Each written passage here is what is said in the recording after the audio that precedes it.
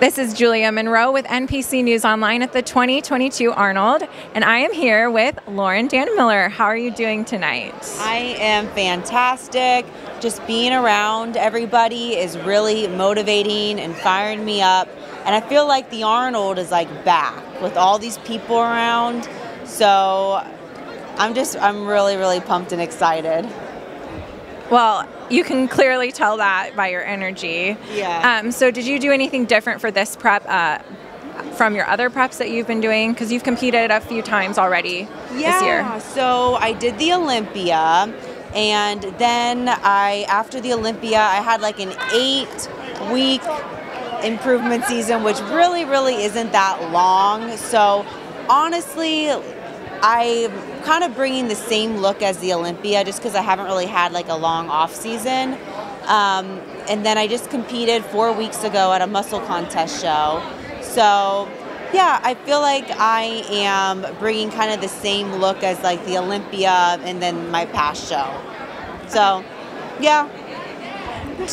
Do you know what color of suit you're wearing? I know you switched to a purple suit. I did. So I switched to a purple suit and I really, really liked it. I really liked it. So um, to, on Saturday, I'm thinking of maybe either doing like a purple or like a deeper bluish purple. I haven't decided yet, but everyone loves the purple, so I'm thinking maybe I'll, I'll go for that one.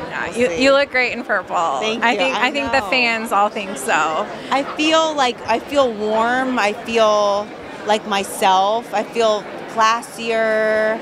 I, I was liking it. Absolutely. Thank you. So you have a pretty active YouTube channel. Yes. And lots of followers. Yeah. Do you have any advice for those followers that may compete in bikini?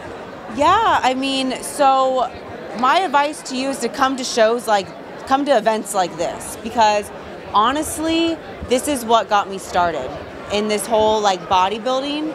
Um, like I went to my first bodybuilding, well, first Arnold in 2015 and then after I went to the Arnold, I'm like, I want to do a bodybuilding competition. I want to step on a stage. And then I did. And then every year I would come back to the Arnold Classic and I would be a little bit higher in my like competing career, whether I was a, a professional or, you know, I finally won that pro show. So it's just, I would definitely go to events like this because you're going to go home and you're just going to be fired up to like go hit the gym or nail your macros or go try to go turn pro or something or step on that stage. So that's kind of my biggest advice. That's really good advice. Yeah. Definitely. And it's like now I'm here and it's crazy. This is cool.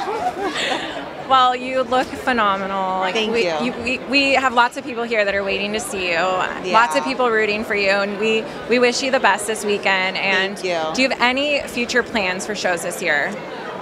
Well, I don't know. We're going to see how this goes. Um, but I might be taking an improvement season. It has been a little bit of, it has been a while since I've taken a long one. And sometimes you got to take that improvement season so you can come back and just be better and improved, right? So as of right now, I don't have any plans. Um, we're just going to see how Saturday goes.